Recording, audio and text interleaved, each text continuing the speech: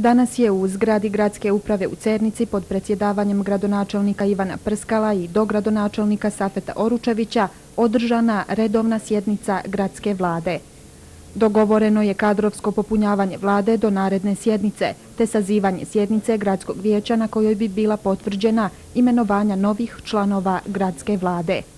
Na pomenutoj sjednici gradsko vijeće bi trebalo zauzeti jasne stavove, te od vlade i Skupštine Hercegovačko-Neretvanskog kantona zatražiti hitno donošenje zakona o pripadnosti prihoda, kantonalnoj upravi i lokalnoj samoupravi, koji su neophodni za funkcionisanje gradske uprave.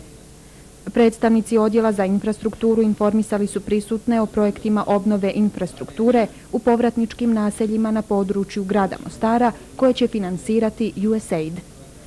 Razgovarano je o intenziviranju aktivnosti na pražnjenju preostalih kuća u naselju Polje, te je s tim u vezi upućen poziv međunarodnim institucijama da ispune materijalne obaveze koje su preuzeli prilikom potpisivanja sporazuma, kako bi se pražnjenje i ovih kuća moglo što hitnije obaviti.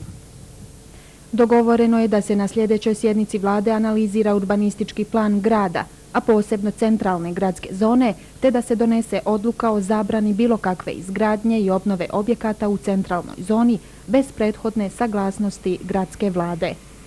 Gradonačelnik Prskalo i dogradonačelnik Oručević danas su u odvojenim posjetama razgovarali sa šefom ureda Američke ambasade u Mostaru, Jamesom Wolfom, o aktuelnoj situaciji u Mostaru i pomoći međunarodne zajednice u napretku procesa povratka i oživljavanju privrede na području grada Mostara.